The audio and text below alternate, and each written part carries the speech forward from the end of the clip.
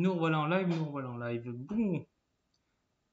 Rebonsoir, rebonsoir. Je vous réannonce que je suis en direct sur Twitch parce que j'ai quelques soucis techniques. Euh, mais là c'est bon. Là c'est bon. Je suis prêt. Donc on va discuter de l'histoire du 1er mai. Euh, le 1er mai, parce que c'est aujourd'hui, nous sommes aujourd'hui un samedi 1er mai en 2021. Le 1er mai est une journée qui est historiquement à la fois une journée de lutte, et ce depuis longtemps, depuis le 19e siècle. Donc c'est d'où vient, on va essayer de voir du coup d'où vient cette journée de lutte, pourquoi cette date-là est une journée de lutte, mais c'est également une journée qui est associée au muguet, et donc voir aussi pourquoi cette fleur est associée à cette date, pourquoi on vend le muguet, pourquoi on offre du muguet le 1er mai. Ça, c'est une question aussi que l'on peut se poser. Et donc, cette date qui est donc associée à ces deux traditions, nous avons essayé de voir pourquoi, depuis quand. Et donc, ça va se passer sur Twitch, comme ça, je pourrais vous montrer ainsi une vidéo du coup qui fera un résumé de ça, que je vais vous commenter, une vidéo que j'ai faite. Et, nous pourrons en discuter grâce aux commentaires de Twitch. Donc n'hésitez pas à venir, le lien est en haut de cette, cette vidéo. Donc venez, si vous cliquez dessus, vous tomberez directement sur le live. Si vous avez un compte, vous pourrez commenter, sinon vous pourrez juste écouter. Donc c'est mieux de vous créer un compte, comme ça vous pouvez euh, assez simplement participer. On pourra échanger, ce sera aussi l'occasion de, ben, de discuter. Vous pouvez également apporter des informations sur le sujet si vous le souhaitez. Donc n'hésitez pas à nous rejoindre. Ça se passe sur Twitch maintenant. Donc voilà, vous êtes tout à fait les bienvenus. Je vous dis donc à tout de suite. Euh, et, puis voilà. Et puis aussi, n'hésitez pas après le live à regarder les vidéos que nous avons mis sur YouTube sur le sujet du 1er mai et également à nous suivre sur notre compte Instagram Histoire d'apprendre. A tout de suite. Voilà, nous revoilà. Donc je sais pas, Eleonore, si tu es encore là, j'ai eu quelques petits soucis d'ordre technique, mais qui vont euh, être réglés désormais. Alors ça, je peux fermer désormais je fais publier. Et nous allons y arriver. Voilà, donc, ce que nous allons commencer par faire, c'est regarder une vidéo sur l'histoire du 1er mai que j'ai fait, que j'ai sorti l'année dernière. Et je, la commenterai déjà moi-même. Par des moments, je mettrai en pause pour vous faire des remarques. Vous-même, n'hésitez pas à participer en commentaire si vous avez des questions. Là aussi, je mettrai en pause pour répondre. Si vous avez des apports à faire, j'en discuterai avec vous. Et une fois cette vidéo lue, nous pourrons continuer de discuter en général du 1er mai euh, sur l'aspect historique. Donc voilà. Donc je vais lancer maintenant, je vérifie juste normalement comment retour son fonctionne. Je vérifie juste que le son fonctionne parce qu'il manquerait plus que ça, que j'ai pas de. que, l'on ne m'entende Et une fois cette vidéo lue, oui c'est parfait, on en montant, c'est parfait. Alors, je suis pas avec mon compte YouTube euh, à moi là parce que c'est un autre compte que j'utilise. Euh, donc, je passe la pub parce que ça s'en fout un peu de la pub. Je mets le son. Et je monte le son. Bonjour tout le monde. Aujourd'hui, en ce 1er mai, je souhaite vous souhaiter une excellente fête des travailleurs. Et non pas fête du travail comme c'est bien trop souvent dit, mais nous reviendrons plus tard sur ce débat d'appellation. Et du coup, en ce 1er mai qui s'annonce... Oui, parce que fête du travail, du coup, alors ça, j'y reviens après, mais bon, j'en profite pour le dire. Fête du travail, c'était l'appellation pétiniste. Euh, pétain, parce que voilà, travail, famille, patrie. Le travail était un élément très important du régime de Vichy.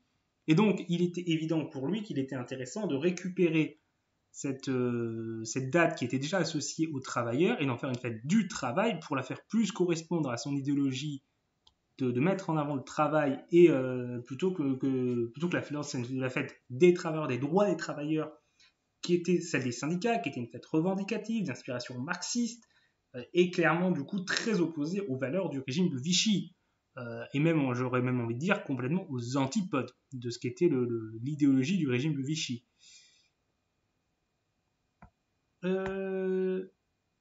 Alors, je vais relancer. Par contre, je vais pas laisser en plein écran parce que c'est probablement assez particulier. Même voir où je tourne, on est encore assez loin de l'échéance.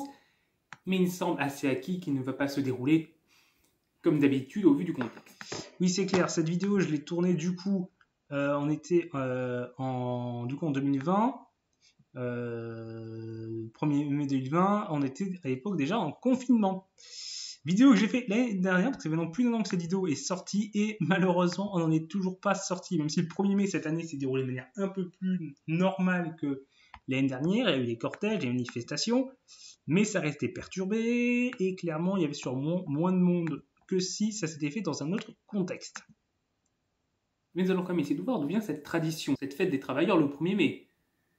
Pourquoi le 1er mai? Pourquoi une fête des travailleurs? D'où ça vient? Nous allons répondre à ces questions ici. Le 1er mai trouve ses origines dans la revendication pour la journée de 8 heures dont je vous ai parlé il n'y a pas longtemps sur cette chaîne. Oui, j'avais fait euh, des vidéos sur la journée de 8 heures parce qu'en effet, c'est euh, fortement lié. Il s'avère que c'était euh, à la base, quand le 1er mai a été choisi, c'était pour être une journée d'action internationale pour revendiquer la journée de 8 heures. Et ça, c'était la journée d'hier, c'est une vieille revendication du monde ouvrier qui, euh, remonte, très loin. Euh, même à l'époque du coup des, socialistes pré-marxistes. Et avec un peu l'idée, en fait, la journée 8 heures, l'idée c'était que d'avoir une journée qui se divisait en trois 8 heures de boulot, 8 heures de loisirs, 8 heures de sommeil. Donc voilà, c'était la revendication, c'était on va donner qu'un tiers de notre journée au patron, l'autre tiers pour se reposer et un tiers enfin pour nous, pour, pour profiter en fait un peu de la vie. Donc cette revendication, par contre, est très loin d'être appliquée, parce qu'il faut voir qu'à l'époque, les journées de travail, c'était plutôt 12 heures dans la norme, 14 heures peut-être même, et des journées de 16 heures, elles pouvaient se trouver. Hein, euh, pas, enfin, plus maintenant. C'était à la fin de l'époque du 1er mai. Le 1er mai est arrivé, c'était plus les journées de 16 heures.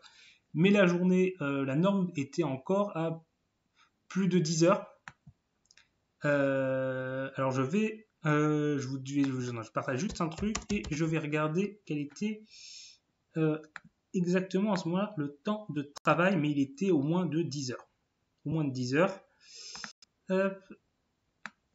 Donc, euh, donc l'origine de cette revendication, donc c'est Robert Owen en 1817 qui a écrit un, qui a donc mis ce slogan-là de 8 heures de travail, 8 heures de loisirs, 8 heures de repos. Et donc c'est un socialiste utopique qui est né en 1771, mort 1858, donc vous voyez que la, revendication de journée de 8 heures, c'est bien avant le 1er mai. Et donc, a une époque où là, oui, en effet, les journées de 16 heures, ça pouvait exister. Euh, donc oui, parce qu'à l'époque, il n'y avait aucune limitation du temps de travail légal, en fait, à l'époque où en 1817. Et on a, on a eu, euh, avant les, premières lois limitant le temps de travail, euh, on, avait des journées qui pouvaient même parfois être de 20 heures. des gens qui, mouraient vraiment à l'usine euh, à l'époque parce qu'il y avait légalement rien n'empêchait le patron de faire travailler un enfant de n'importe quel âge autant de temps qu'il le souhaitait à ce moment-là. Alors certes, dans les faits, il y avait des limites physiques et à un moment donné, poser des limites, genre la journée de 20 heures, c'était pas quelque chose qui se faisait euh, de manière permanente parce que évidemment, on ne, c'est pas, c'est physiquement pas possible. On est, d'accord là-dessus, mais ça existait, ça existait et voilà, ça se faisait, euh, ça se faisait à certains moments, lors de moments de, de, intense. Et la première loi en France qui va poser une limite au temps de travail et au travail des enfants, essentiellement, c'est le 22 mars 1841, où les enfants de moins de 8 ans ne pourront plus travailler. Et j'ai envie de dire, euh, c'est quand même un minimum, parce qu'en moins de 8 ans, vous imaginez à moins de 8 ans travailler? Et pour les enfants de 8 à 12 ans, le temps de travail était limité à 8 heures. Donc 24 ans après que cette revendication ait émergé, elle est acceptée pour les enfants de 8 à 12 ans. Par contre, pour les autres, c'est clairement pas le cas. Euh, ensuite, en 1848, c'est la journée de 10 heures qui se met en place, mais elle va être rapidement ramenée à 12 heures, puisqu'il euh, y a un tournant plus conservateur du régime. Ensuite, en 1874, il y a une loi qui interdit le travail pour les enfants de moins de 10 ans, et pour les enfants de 10 à 12 ans, c'est 6 heures de travail. Donc, on continue d'avoir des améliorations. Et euh, donc au début du donc 1892, le temps de travail est limité à 11 heures pour les femmes et les enfants de 16 à 18 ans. Et donc euh, on est à peu près dans ce contexte-là au moment où le premier mai émerge. Donc on a une époque où le temps de travail est de 12 pour les ouvriers en général est de 12 heures. Donc pour demander les 8 heures, c'est quand même demander une réduction assez importante.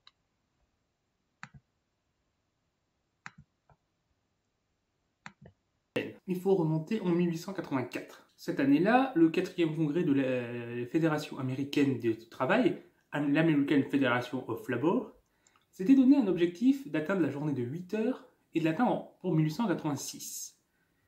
Et avait décidé que si ce n'était pas fait, elle lancerait un grand mouvement de grève le 1er mai 1886. Le 1er mai ayant été choisi car c'était pour beaucoup d'entreprises américaines le jour où elles entament leur année comptable et donc c'était un moyen ben, d'avoir un début claire, précise sur la, mobilisation. Ainsi, lorsqu'on arrive à la date fatidique... Donc ouais, euh, donc au final, si le 1er, le 1er mai aurait pu être tombé à une autre date si, euh, les entreprises américaines fonctionnaient différemment. Un certain nombre d'entreprises avaient déjà accepté de mettre en place les 8 heures, puisque dans ces, pendant ces deux années, il y avait eu des luttes, des mobilisations, euh, il y avait cette, la menace de la grande mobilisation du 1er mai 1886 qui faisait effet. Donc, dans un certain nombre d'entreprises, des avancées avaient eu lieu. Mais beaucoup avaient refusé de céder sur la question. Et donc, il fut décidé ben, que la grande mobilisation prévue ait effectivement lieu. Et ainsi, à partir du 1er mai 1886 et dans les jours qui suivirent, de nombreuses manifestations et grèves vont avoir lieu. Et le 3 mai, à Chicago, trois manifestants vont mourir lors de la des répressions de, ces manifestations par les forces de l'ordre. Ce qui, alors à l'époque, réprimer violemment les manifestations et que ça provoque des morts, c'est pas quelque chose d'exceptionnellement euh, rare. Hein. Ça ne, ça ne, c'est clairement pas quelque chose qui, euh, qui doit surprendre plus que ça. Euh, il y a eu la fusillade de Fourmi en France en 1891, plus tard, qui a quand même fait plusieurs morts dans le mouvement ouvrier. Donc, on, est, on est à une époque où les manifestations ne sont pas encore totalement acceptées et sont réprimées. Euh, Fourmi, c'est 10 morts, 35 blessés. Donc euh, voilà, c'est. Euh... Mais c'est pas parce que c'était courant que c'était forcément. Enfin, c'était pas même quelque chose qui était accepté par le monde ouvrier. Mais c'était courant. Et c'est quelque chose qu'aujourd'hui on n'est plus habitué. Aujourd'hui, a des morts dans des manifestations, c'est vraiment c'est c'est un choc énorme pour l'opinion publique en général, largement au-delà du monde ouvrier, même s'il y a toujours des gens qui vont dire qu'ils l'avaient bien cherché, que s'ils n'avaient pas, euh, pas, manifesté, ce ne serait pas arrivé. Mais globalement, c'est quelque chose de mal accepté. Euh, et euh, ça, a provoqué des, chutes, de gouvernement, des chutes de ministres. voilà, c'est pas, pas anodin aujourd'hui. À l'époque, c'était mal accepté dans monde ouvrier, mais c'était quand même plus anodin qu'aujourd'hui va mettre un peu le feu puisque le lendemain, il va y avoir une grande marche organisée en protestation contre cette répression et les morts qu'elle causait. Et donc, à un moment, une bombe va être lancée sur la police durant cette marche. Un policier va mourir, plusieurs seront blessés, et ben, du coup, les policiers vont charger et réprimer cette marche. Et donc, des affrontements vont avoir lieu entre la police et les manifestants, provoquant plusieurs morts. Suite à cela, l'État, les forces de l'ordre, décidèrent qu'il fallait punir les responsables des morts des policiers. Plusieurs militants ouvriers connus localement furent arrêtés et jugés coupables de cette attaque.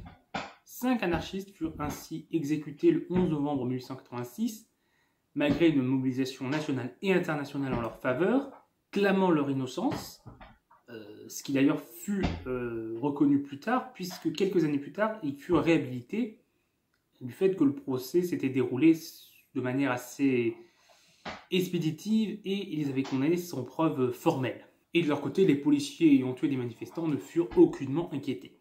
Ainsi, cette exécution allait être un symbole pour le mouvement ouvrier, un symbole de la lutte pour la journée des 8 heures, en partie symbolisé par la dernière phrase de l'un des condamnés à mort Le jour viendra où notre silence sera plus puissant que les voix que vous étranglez aujourd'hui.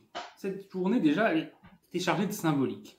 Et en 1889, alors qu'il y avait un congrès de la Seconde Internationale qui se déroulait à Paris, euh, qui, ce congrès célébrant également du coup à l'occasion les 100 ans de la Révolution française, il fut décidé d'organiser une journée de mobilisation mondiale.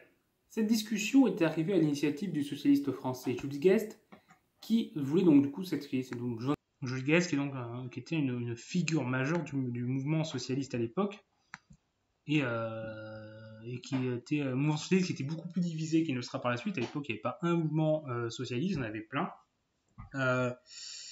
Il y avait. Euh, alors, j'ai une liste des mouvements socialistes de l'époque. Euh, Parti social français. Euh, non, Parti, socialiste français. Parti social français, non, ça c'était dans les années 30 et c'était un mouvement d'extrême droite.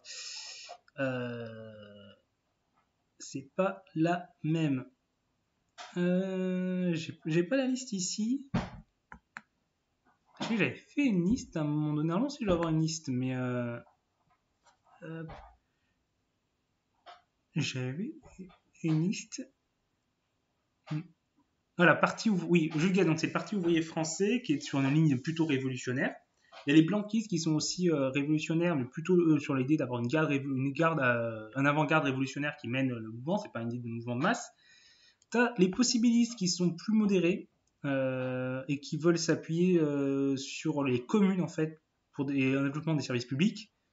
Il y a le Parti ouvrier socialiste révolutionnaire mené par Jean Allemagne, pas Jean Allemagne mais Jean Allemagne, qui eux ils veulent une, inspiration spontanée des masses. Donc c'est des, gens qui disent ouais là, ça va venir des masses d'elles-mêmes et les socialistes indépendants qui sont aussi des, des, socialistes plutôt modérés qui seront plutôt favorables à une participation au gouvernement et qui sont, du coup, pour la plupart, pas dans des partis politiques, même si on trouve des courants de socialistes indépendants qui sont dans des partis politiques euh, socialistes.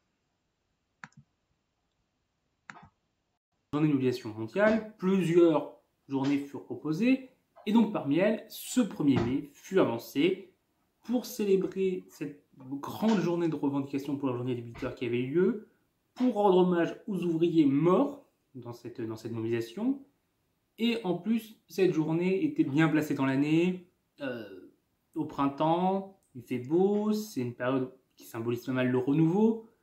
Donc il y avait vraiment ce qu'il fallait pour que cette journée soit choisie, soit idéale pour placer une journée de revendication internationale pour revendiquer la journée de 8 heures. Ainsi, fait décider que l'année suivante, le 1er mai 1890, qu'une grande manifestation allait avoir lieu à travers tous les pays. Un certain nombre de militants ouvriers, socialistes, ou anarchistes n'étaient pas forcément tous d'accord avec cette, idée. Certains pensaient que ça allait faire un flop, que ça n'allait pas servir à grand chose.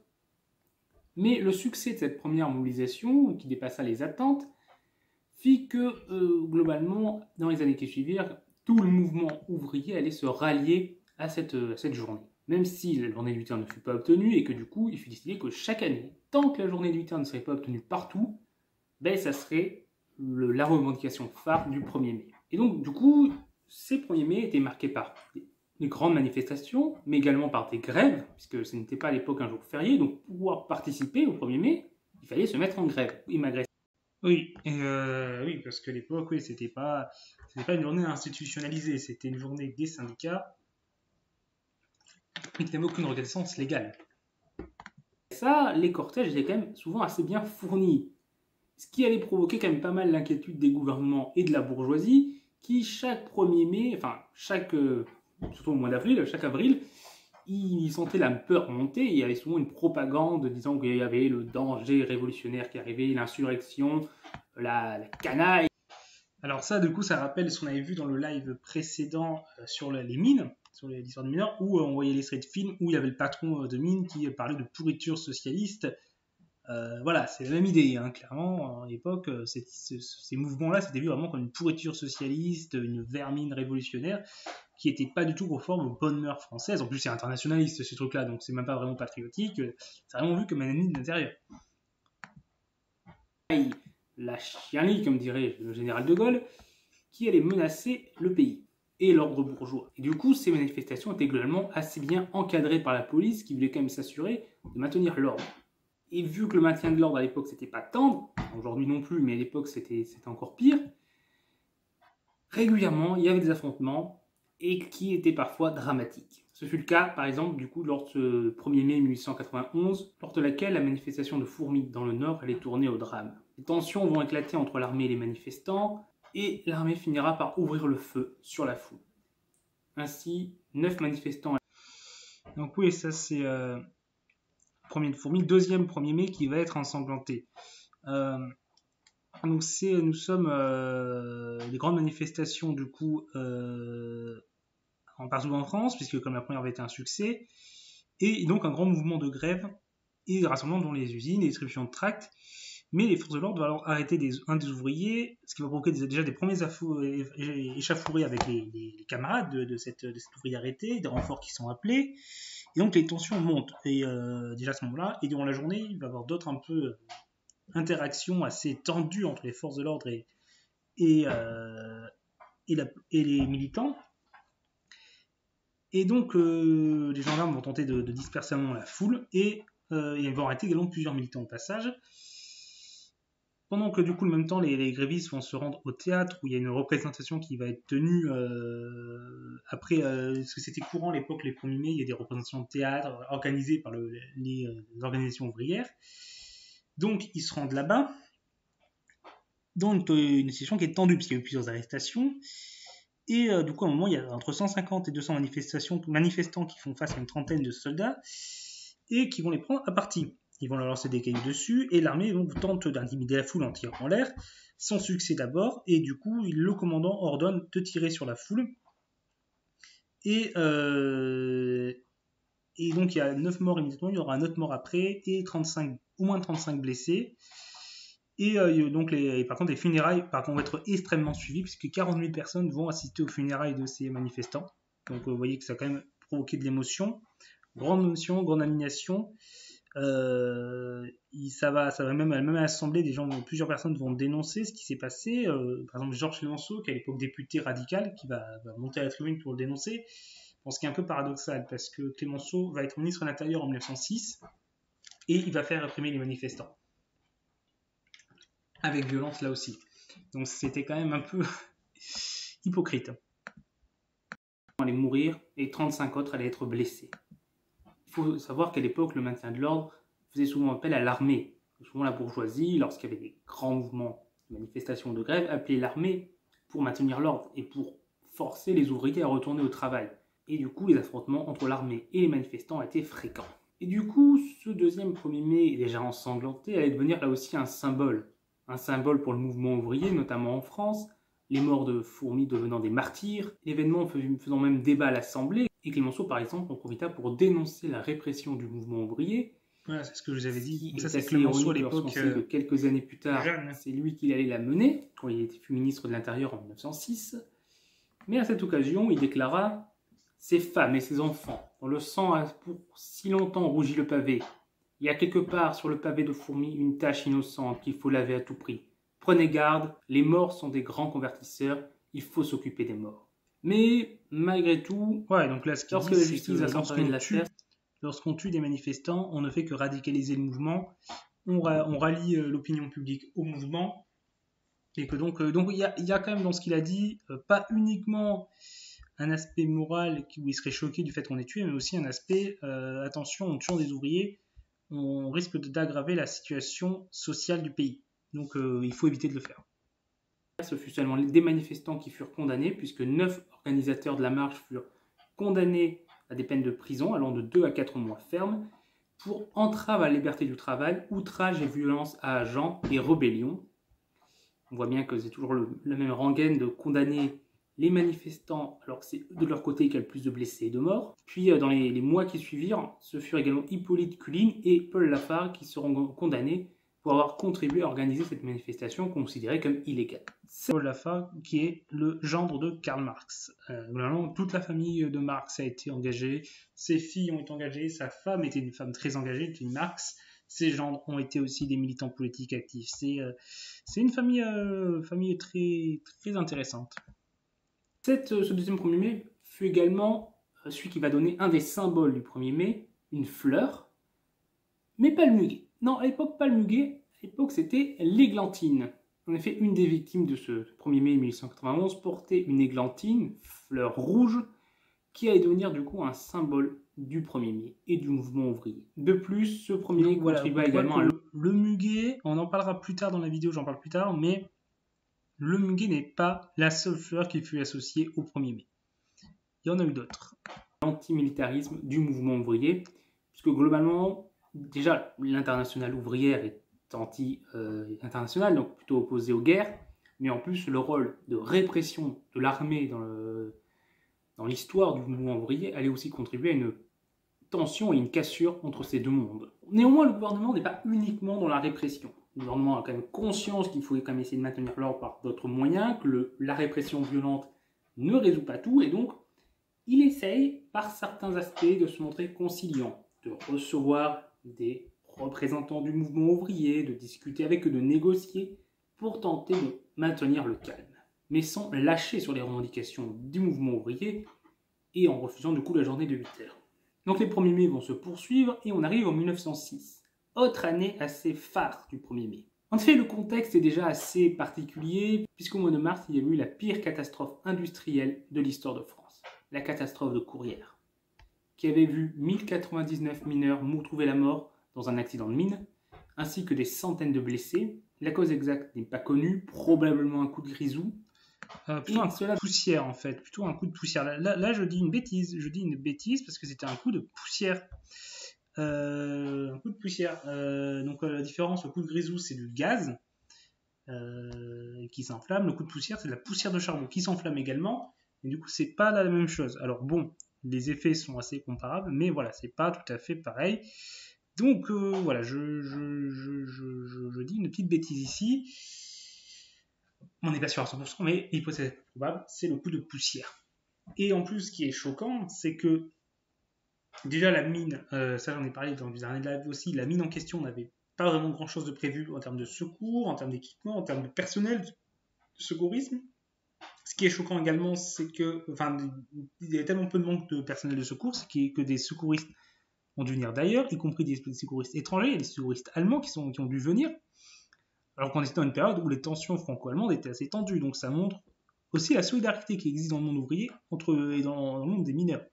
Une forte solidarité qui fait que lorsque des mineurs sont victimes, on vient au secours.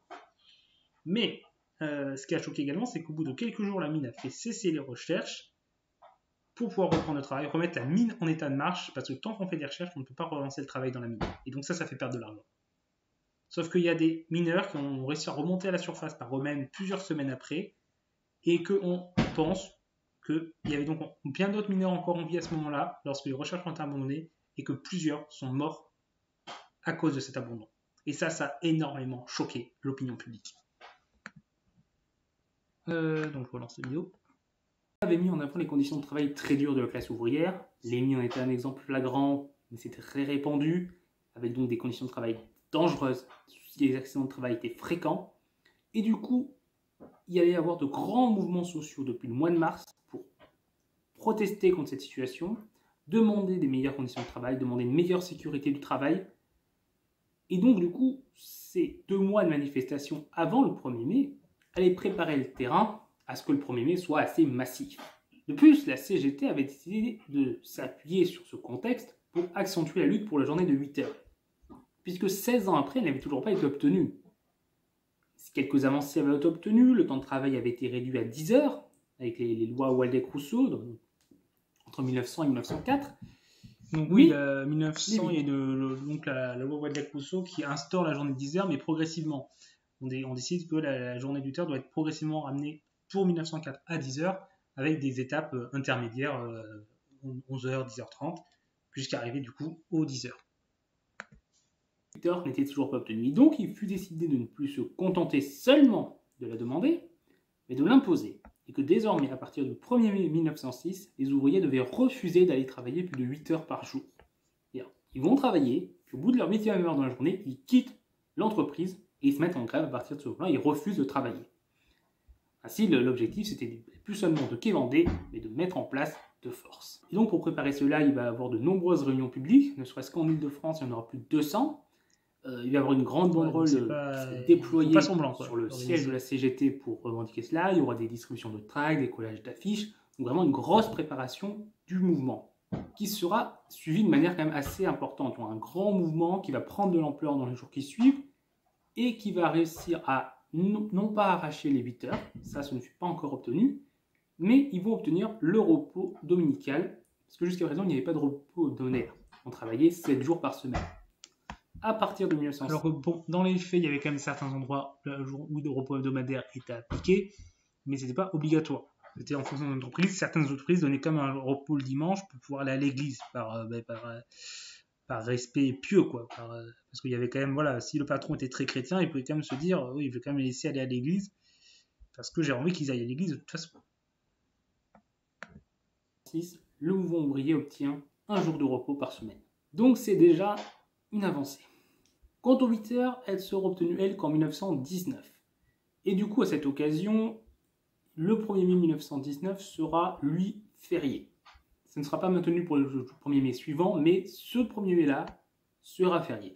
Donc oui, le 1er mai férié ne date pas que de Pétain, il y en a eu un en 1919, même si en effet, euh, Pétain l'a mis en jour férié pour faire une fête du travail, pas des travailleurs, et qu'une fois la libération, l'idée de, faire cette journée-là, la fête des travailleurs un jour férié, a été imposée dans un contexte où la CGT et le PCF étaient très importants dans les réseaux de résistance qui est euh, idéologiquement avec une ambition extrêmement différente. Le, jour férié mis par Pétain et suivi maintenu par le CNR c'est la même, en soi, c'est la même euh, mesure, mais l'idéologie derrière était totalement différente. Du coup, la première fois que le 1er mai n'est pas un jour où il faut faire grève, mais un jour où, enfin, on est payé, et enfin un jour où on peut participer au cortège du 1er mai sans se mettre en grève et donc en étant payé. Cela n'arrêtait pas le 1er mai. L'obtention de la journée de 8 heures n'allait pas arrêter le 1er mai, puisque globalement, déjà, c'était une journée revendicative globale. Le 1er mai, on avait été la revendication phare, mais il y avait beaucoup d'autres revendications à obtenir, donc il fut décidé de la poursuivre pour continuer de se battre, pour améliorer la condition des travailleurs en France, mais également dans le monde entier, où la journée de 8 heures n'était pas partout. Surtout qu'on était à l'époque aussi dans un contexte où l'idée d'une révolution faisait son chemin. On a vu les révolutions, euh, révolutions russes en 1917, qui a été suivie par plusieurs mouvements révolutionnaires dans une bonne partie de l'Europe, euh, une bonne partie de l'Europe de l'Est. Il y avait eu des grands mouvements en Allemagne qui avaient failli euh, aboutir à une révolution. Donc le contexte était là assez, aussi au niveau mondial, était à préparer la révolution. Donc il n'était pas question de l'arrêter le 1er mai à ce moment-là. D'ailleurs, en parlant du RSS, de leur côté, à partir de 1920, le 1er mai sera un jour férié. Du coup, du jusqu'au en 1936, on va avoir des 1er mai variables, avec une ampleur variable en fonction du contexte, qui vont se structurer. Euh, globalement, on va avoir des, les événements autour du cortège du 1er mai, puisque le 1er mai n'est pas seulement manifestation et grève, c'est également un événement qui a une vocation festive. On parle de fête des travailleurs, donc c'est rendre hommage et fêter les luttes donc il y a des chansons, le l'international est souvent chanté. Il y a des balles qui sont organisées, il y a des spectacles qui sont organisés. ça, ça va se structurer avec le renforcement des syndicats. La CGT à partir de 1895 qui se crée. Donc les syndicats se structurent, donc ils peuvent organiser mieux les événements. On a également la conquête de municipalités par la SFIO et le Parti communiste par la suite, parce que ces villes socialistes et communistes vont également être plus favorables au mouvement ouvrier et mettre à disposition des salles pour organiser des, des, concerts, des spectacles, des meetings. Et donc cela va se structurer au cours des années. Durant cette période, on a quand même un premier mai qui sort du lot, enfin deux premiers mai du coup qui sortent du lot, mais 1934 euh, d'abord, contexte qui fait suite au 6 février 1934. Je vous en avais déjà parlé dans la, vidéo sur euh, l'évolution des mouvements politiques, avec la marche euh, d'extrême droite qui a eu lieu à Paris à l'époque. Euh, pour protester contre la corruption du gouvernement, qui avait fait craindre un coup d'État fasciste, et du coup ça avait poussé la gauche à réagir. La CGT en train, étant à ce moment-là du coup, en train de préparer sa réunification, et donc du coup ce 1er mai est teinté d'un grand antifascisme. Surtout qu'en plus du 6 février 1934 en France, qui avait fait craindre ce coup d'État fasciste, de manière exagérée, je vous l'ai déjà dit, il y avait euh, le contexte international était aussi au fascisme, hein, parce qu'il y avait l'Italie fasciste et il y avait en Allemagne euh, Hitler qui avait gagné un an avant. Donc il est clair que ce 1er mai fut assez particulier. Et ce fut ensuite le 1er mai 1936 qui fut important, puisqu'il se déroulait entre les deux tours des élections législatives vont voir la victoire du Front Populaire, puisque le 26 avril 1936, le premier tour avait eu lieu, qui avait vu la, la gauche faire une forte poussée, et le second tour devait avoir lieu le 3 mai, deux jours après le 1er mai. Donc évidemment, ce 1er mai était teinté à la fois de l'espoir porté par le Front populaire, mais également de la volonté de faire pression sur ce futur gouvernement pour s'assurer qu'il mette bien en application ses promesses. Ce 1er mai allait également être marqué par l'opposition à la guerre qui montait. Oui, euh, du coup, c'est un peu cette même idée qu'il y avait dans les grandes grèves de juin 1936, euh, d'enthousiasme, de, de fête et de faire pression sur le gouvernement pour que les mesures soient prises. Euh, L'Allemagne était en train de s'étendre, la guerre d'Espagne allait bientôt commencer. On était dans une situation. L'Italie qui avait déclaré la guerre à, l'Éthiopie en 1935, donc on avait aussi ça en termes d'extension du fascisme. Où le risque de guerre montait, montait en Europe. Et le mouvement ouvrier, fortement marqué à la fois par l'internationalisme et le pacifisme, également marqué par le lourd tribut payé en termes de, de victimes, le lourd tribut humain payé lors de la Première Guerre mondiale, ce qui fait que l'envie de pacifisme était fortement présente. Et donc, ce 1er mai 1936 allait voir 300 manifestations se dérouler à travers tout le pays, ce qui était une des euh, mobilisations les plus importantes euh, que le 1er mai avait connues depuis bien longtemps.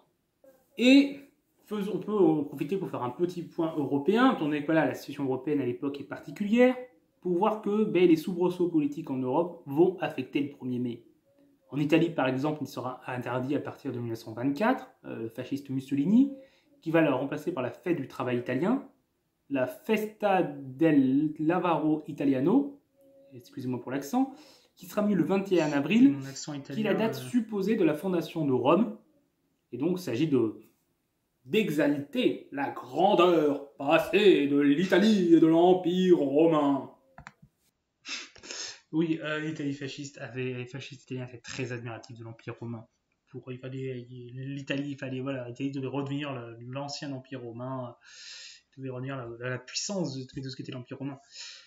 Et donc, euh, il fêtait la journée qui était censée être le 21 avril, du coup, de la fondation de journée mythique. hein, euh, Rome n'avait été fondée en une journée, mais c'est cette journée-là, en tout cas, qui est dans la limite, et euh, qui est donc mise en avant par, euh, par les, fascistes italiens, une journée qui fêtait, et donc ils ont décidé d'une fois de, supprimer le premier, le- la fête des travailleurs le 1er mai, et de faire une fête du travail, là aussi dans l'idée de remettre l'Italie au travail, et de la faire coïncider avec la date du 21 avril, qui préférait, et qui, d'un point de vue euh, de calendrier, était assez proche. Voilà. Et le 1er mai, du coup, en Italie, va être établi qu'à partir de 1945, une fois le régime fasciste renversé. En Allemagne, le 1er mai sera à son côté maintenu par les nazis, mais fortement instrumentalisé et arraché aux syndicats. Ça sera devenir une fête nazie. Maintenant, c'est le il se réclamait comme le parti des travailleurs euh, allemands, le, le parti nazi. Donc, euh, ils ont fait de la grosse récupération là-dessus en reprenant une, une qui était contraire à leurs valeurs et en faire une journée nazie. On peut également citer l'Espagne où à partir euh, d'une prise de pouvoir de Franco, le 1er mai allait être interdit. Officiellement en 1939 quand il aura vraiment pris le pouvoir, mais dès 1936 il sera très perturbé par la guerre civile. Et il fallut attendre 1975 et la mort de Franco pour que le 1er mai soit rétabli en Espagne. Quant en France, bah, il fallut attendre 1940 pour qu'ils subissent les affres de la guerre, puisque le régime de Vichy allait transformer la fête des travailleurs en fête du travail et de la concorde sociale, ce qui en faisait une fête célébrant non plus les luttes sociales et les luttes des travailleurs, les luttes des classes, mais une fête célébrant le travail comme valeur. Travail, famille, patrie On est en plein dedans. Oui, et puis la concorde sociale, c'est l'unité, c'est l'unité du travailleur et du patron. Donc c'est l'idée corporatiste qu'on retrouvait globalement dans l'extrême droite de l'époque, euh, que ce soit l'extrême droite fasciste ou l'extrême droite plus euh, catholique conservatrice, qui qui s'inspirait du christianisme social euh, et donc qui était plus proche de l'idée de, de Pétain. Donc c'est vraiment l'idée voilà que il faut pas qu'il y ait une lutte des classes, il faut qu'il y ait une union d'un nation, l'idée d'union sacrée aussi, qui était présente dans la Première Guerre mondiale, qui, veut le retrouver et que pour, pour l'avenir du pays, il faut que les travailleurs et les patrons soient unis, mais du coup, en niant l'existence d'intérêts antagonistes en fait entre les deux, ces deux classes, il y a disons d'intérêts différents, et au final, quand on fait une union des travailleurs et des patrons, au final, c'est derrière le patron que cette union se fait. Et c'est essentiellement derrière les intérêts du patron au final. Et c'est depuis cette date que la terminologie de fête du travail existe.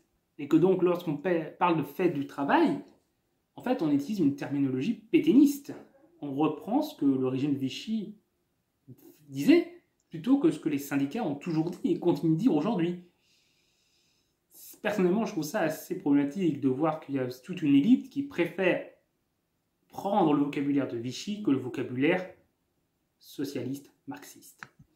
Alors, toute une élite, pas forcément, mais c'est vrai que dans les médias, on entend beaucoup parler de fête du travail.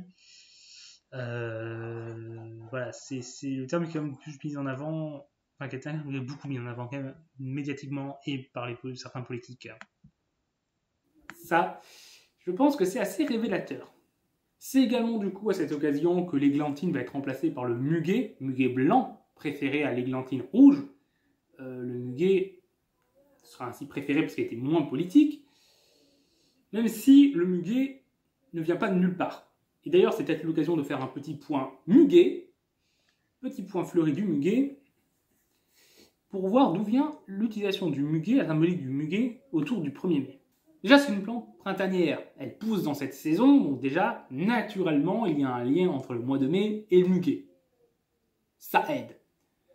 Euh, ce qui fait que déjà, chez les Celtes, euh, c'était considéré comme une fleur porte-bonheur. Euh, la fête, la tradition, elle se perpétue au Moyen-Âge, euh, puis elle acquit un statut officiel en 1561, lorsque le roi Charles IX, ayant reçu des, un brin de muguet le 1er mai, décida que chaque année, il allait offrir un muguet, un brin de muguet aux dames de la cour. Et donc du coup, ça allait vraiment dans l'élite, par imitation du roi, se faire d'offrir aux dames des muguets pour le 1er mai. Néanmoins, ça n'allait rentrer dans la culture populaire qu'à partir du 1er mai 1900. En effet, euh, les grands couturiers parisiens allaient organiser une fête ce jour-là et, pour faire un petit coup de pub, ils allaient offrir à chaque femme qui allait se présenter des brins de muguet. Du coup, vu que ça a, été diffusé assez massivement, ça va avoir tendance à le faire rentrer dans la culture populaire. Surtout porté par la droite et le patronat, qui préférait le muguet moins politique que l'églantine, donc préférait en faire de cette fleur le symbole du 1er mai. Mais euh, ils n'ont pas réussi à le faire, certes muguet a été popularisé, mais ils n'ont pas réussi à l'imposer, il a fallu attendre du coup le régime du Vichy pour que ça soit imposé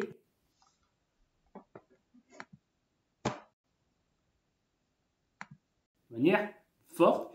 Le muguet, ça par contre, est vraiment rentré dans la culture populaire, y compris chez les syndicats et les partis euh, de gauche. Par exemple, le Parti communiste qui vend traditionnellement son muguet chaque 1er mai. Ouais, ça, j'ai vendu le 1er mai à l'époque où j'étais militant en PCF.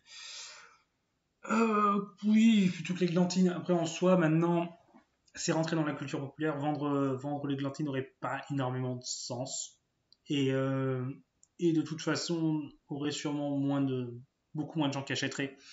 Après, ça peut être un débat de se dire est-ce qu'il est vaut mieux essayer de se battre pour faire revenir les glantines que le, le muguet Mais là, à part une différence de couleur, ça serait plus symbolique qu'autre chose. Alors que peut-être du travail ou fait des travailleurs, c'est dans le sens pas du tout la même chose. Et euh, autant je suis beaucoup plus attaché à l'idée défendre le fait de, appeler ça fête des travailleurs et des droits des travailleurs que fête du travail, autant sur le muguet ou l'églantine, euh, je, je, pense que ça a moins d'intérêt de se battre euh, pour revenir à cette ancienne fleur, nettement. Donc euh, là-dessus, par contre, si autant la fête du travail n'est pas acceptée, euh, et le muguet, lui, par contre, est rentré dans les mœurs. Ensuite, il a fallu attendre. cette ancienne fleur, nettement. Donc, euh, 1947, pour que le 1er mai soit rétabli en tant que vraiment fête des travailleurs et, euh, et fête organisée par les syndicats, même si la terminologie fête du travail sera, restera la, terminologie officielle, au moins on restera entre à nouveau sur une mobilisation organisée par les syndicats. Mais c'est également à partir de ce jour c'est devenu un jour férié, payé euh, même si on ne travaille pas, du coup, de manière définitive. Comme je l'ai dit, en 1919, ça a été pour l'année, mais là, à partir de 1947, c'est définitivement un jour férié. Le premier, du coup, allait se poursuivre, avec quelques dates symboliques. Évidemment, le 1er mai 1968, qui apparaît comme le lancement du mois de mai 68, le mois célèbre pour ses luttes, même si les luttes avaient déjà commencé avant. Euh, il y avait un contexte de, de mobilisation sociale assez fort depuis fin 67, début 68. Mais le 1er mai allait symboliser le lancement d'un grand mois de lutte qui allait obtenir. Oui, évidemment, euh, mai 68, c'était vraiment le mois où la, lutte, la, période de lutte de fin 67 début 68 va trouver son apogée. Et donc évidemment le 1er mai, c'est le premier jour du mois de mai de mai 68, mais en plus c'est une journée de base de lutte. Donc évidemment, c'est clairement la journée symbolique qui marque le début de mai 68. Il faudrait que je fasse une vidéo sur mai 68. Hein.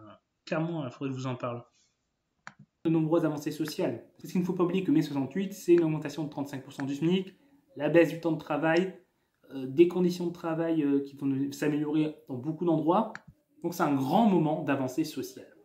De plus, il faut se rappeler aussi un élément, c'est que le 1er mai 68, c'est le premier 1er euh, mai avec des manifestations depuis 1954. Puisqu'en effet, à partir de cette date-là, elles allaient être interdites du fait du contexte de la guerre d'Algérie.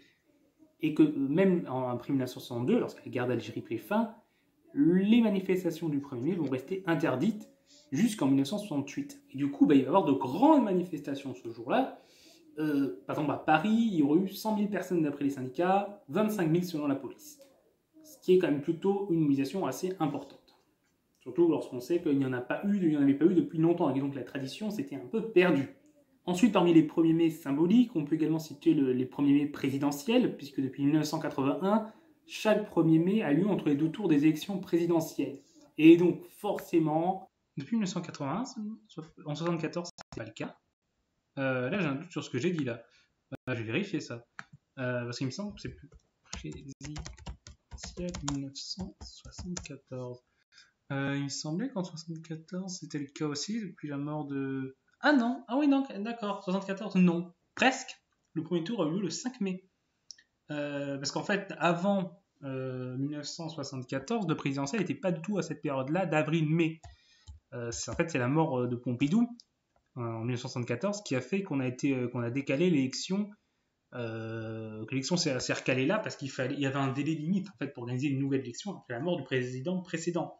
En 1969, ça s'était fait en juin, les présidentielles, suite à la démission de De Gaulle, euh, qui du coup avait démissionné suite à la défaite d'un référendum, et en 1965, c'était en décembre. Donc vraiment pas du tout la même période par contre là, pas du tout.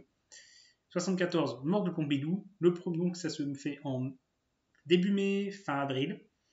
Et ça va, comme il n'y a plus une mort de président ni de démission, la, date est à peu près restée la même et ça a plutôt tourné du coup. Alors 74, ça a été le 5 mai, je pense aussi, parce qu'il a fallu organiser un peu dans l'urgence euh, l'élection. Là, peut-être que du coup, on essaie d'organiser l'élection un peu plus avant la, passation de pouvoir, au cas où il y ait des contestations, des recomptes à, des à faire.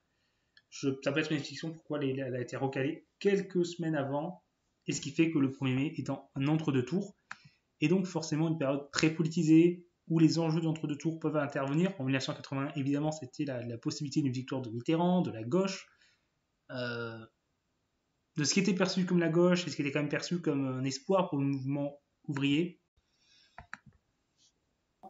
Marqué par le contexte politique, que ce soit l'espoir en 1981, puisque Mitterrand, premier président de gauche depuis la, la Ve République, il y avait un espoir qui avait été soulevé. Euh, également le 1er mai 2002, euh, marqué par l'antifascisme, avec le, Jean-Marie Le Pen qui était au second tour, ou le 1er mai 2012, marqué par l'antisystème. Alors, euh, moi, j'avais que 7 ans à l'époque. Peu de souvenirs, mais j'ai quelques souvenirs. Je sais que mes parents y sont allés. j'ai quelques souvenirs de cette époque, mais vraiment très, très flou. Très flou. Je ne m'intéressais pas énormément à la politique à l'époque. Mais j'ai quelques souvenirs sarkozysme. Ouais, mais de premier nous, ça je m'en souviens plus. J'avais comme 17 ans, j'étais manifestant à l'époque. Et clairement, il y avait la CGT qui avait appelé à faire battre Sarkozy cette fois-là. La CGT appelle rarement à, donne rarement des consignes de vote entre le, au présidentiel. C'est arrivé dans certains entre-deux tours. Ça a été le cas en 2002 pour, euh, contre Le Pen et ça a été le cas en 2012 contre Sarkozy. Donc, ces premiers mai-là sont également des premiers mai assez symboliques. Et puis on peut parler également des premiers mai qui ont lieu en période de mobilisation sociale, 1er mai 2006 contre le CPE, 1er mai 2016 euh, contre la loi travail, qui sont également forcément teintés d'un certain contexte social plus, plus important. Et donc voilà, nous avons fait un tour du 1er mai en France. Surtout en France, on a parlé un peu du 1er mai à l'étranger, mais on est resté concentré sur la France pour une raison simple, c'est que c'est un juillet extrêmement vaste. Ça sera déjà une vidéo longue et je ne comptais pas vous assommer en vous parlant du 1er mai partout. Peut-être que éventuellement, je pourrais vidéo que faire une tradition de la chaîne que chaque 1er mai, je vous parle de l'histoire du 1er mai. Alors je l'ai pas fait. Je l'ai pas fait cette année. J'ai juste fait une petite vidéo. Quand j'ai extrait de cette vidéo, que j'ai juste un peu rajouté quelques illustrations au montage du coup sur le muguet euh, parce que je suis en période d'examen, enfin en période de révision pour les examens. Mais cette idée-là de faire chaque 1er mai une vidéo sur l'histoire du 1er mai est pas euh, abandonnée. Mais cette année, j'ai pas vraiment euh, le temps, surtout qu'en plus j'ai aussi en termes de vidéos, euh, de projet vidéo, j'ai toute ma série de vidéos sur l'histoire du PCF qui est un gros truc aussi. Euh, mais oui, faudrait, faudrait pour l'année prochaine que je le fasse. Peut-être que cet été je préparerai une vidéo d'avance pour pouvoir être prêt pour le 1er mai de l'année prochaine. À voir. De toute façon, j'ai fini du coup cette vidéo. Donc euh, voilà, c'est terminé pour cette vidéo là. Donc, est-ce que vous avez des remarques, des questions? En particulier sur euh, le 1er mai. Pareil, ce soir, il n'y a pas grand mais pareil, quand je regarde, là, du coup, je suis allé sur ma chaîne Twitch pour euh, regarder un peu, là, euh, les lives, la plupart des gens ne sont pas non plus remplis, remplis de ouf. c'est pas genre Grogbeer qui peut tourner d'habitude à plus de 10 personnes, on en a que 5. Donc, samedi soir, je sais pas si les gens sont en vacances et pas chez eux, du coup. Mais en tout cas, euh, donc voilà, je. Qu'est-ce que je peux dire de plus sur le 1er mai? Euh, Oui, c'est beaucoup lié à la journée de 8 heures. Euh, Donc c'est une revendication qui revendication de journée de 8 heures qui est officialisée par l'Association internationale des travailleurs en 1866. Donc déjà, c'est une revendication qui était officialisée dans le mouvement ouvrier depuis avant 1890, avant que l'idée d'en faire une journée internationale. Mais euh, donc l'AIT, c'est l'Association internationale des travailleurs est en 1864, première internationale. Parce que du coup, il y a la seconde internationale qui est l'internationale ouvrière et la troisième internationale qui est l'internationale communiste.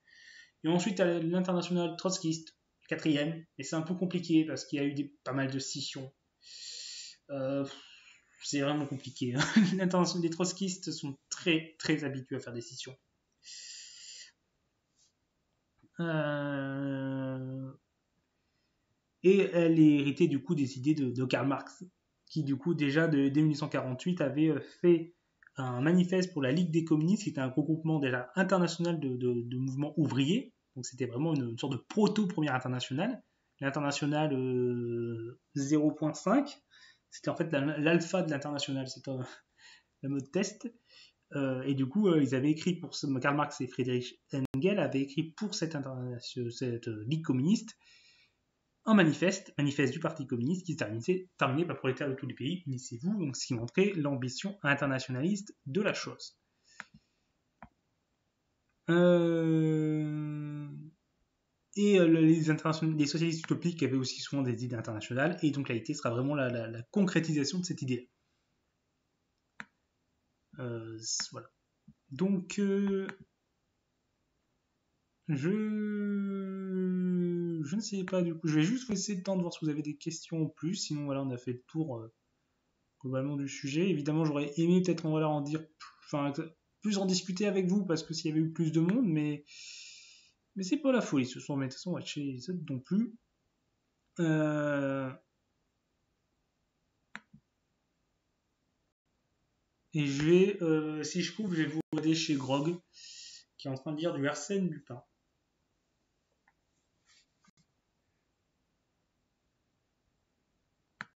Hop. Ouais, c'est. Euh...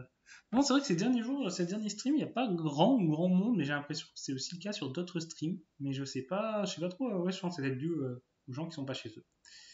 Parce que euh, j'avais clairement plus de monde il y a genre deux semaines.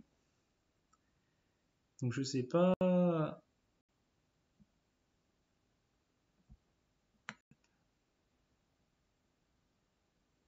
Ah, euh, d'accord. Ah, j'ai pas eu la notification de une personne qui s'est abonnée à ma chaîne et enfin qui qui m'a suivi et j'ai pas eu la notification. Hop. Quelques soucis euh, de bug. Mais pareil, à un moment, j'avais plus de monde que ce qui s'affichait, je sais pas. Mais En tout cas, bon, je vais couper le live là. De toute façon, je vais pas finir extrêmement tard parce que j'ai un peu de boulot après encore parce que j'ai les examens la semaine prochaine. Donc d'ailleurs, pas de stream la semaine prochaine. Donc le prochain stream samedi prochain. Euh, parce que j'ai des examens, donc euh, semaine d'examen égale pas de stream. Par contre, euh, j'ai encore quelques petits trucs à rendre, mais à partir du 12 mai, je suis en vacances. Et donc, il y aura peut-être un peu plus de... on, repartira sur deux streams par semaine. il y aura et peut-être éventuellement d'autres streams à l'occasion. Mais en tout cas, nous verrons en ce moment-là. il y aura sûrement des, des, projets différents qui vont essayer d'arriver je, faut que j'y réfléchisse. Et aussi, du coup, peut-être les emotes personnalisés euh, et, euh, et peut-être un overlay pour la chaîne Twitch. Enfin voilà, toi, il y a beaucoup de choses cet été qu'il faut que je fasse pour améliorer les choses. Donc, je vais vous envoyer en raid chez Grog.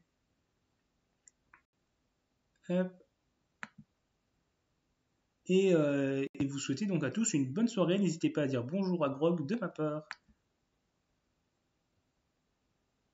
Et de toute façon, je lui dirai bonjour aussi, je pense. Euh, le raid a-t-il marché? Oui, le raid a marché. Par contre, vous êtes plus très nombreux.